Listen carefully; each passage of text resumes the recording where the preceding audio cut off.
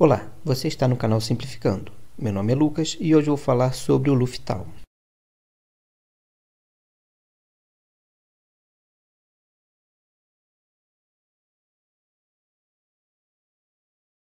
O Luftal é um medicamento que tem simeticona na composição.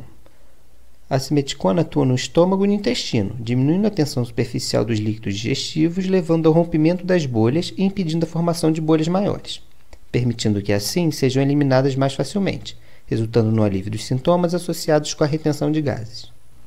Serve para aliviar sintomas como desconforto abdominal, aumento do volume abdominal, dor e cólicas no abdômen, porque contribui para a eliminação dos gases que provocam esse desconforto. Além disso, esse medicamento também pode ser usado na preparação de pacientes que necessitam ser submetidos a exames como endoscopia digestiva ou colonoscopia. Está disponível em gotas, comprimidos ou cápsulas gelatinosas.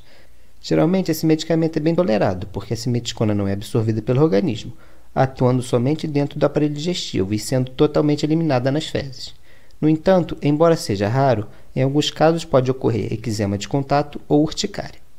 O não deve ser usado por pessoas com hipersensibilidade aos componentes da fórmula, pessoas que sofram de distensão abdominal, cólica grave, dor persistente por mais de 36 horas ou que sintam uma massa palpável na região do abdômen.